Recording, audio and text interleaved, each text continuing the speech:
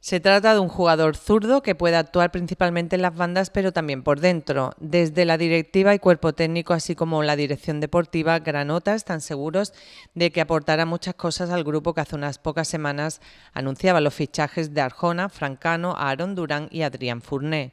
El barreño Cano es un jugador polivalente ya que tanto de central como medio centro defensivo lo hace de lujo. Por su parte, Aaron regresa al Club Deportivo Guadiaro con muchísimas ganas. Su posición natural es lateral derecho, pero también lo hace bien en el costado izquierdo. En el caso de Fournet es un medio centro versátil, con buen trato de la pelota y con buena llegada al área contraria.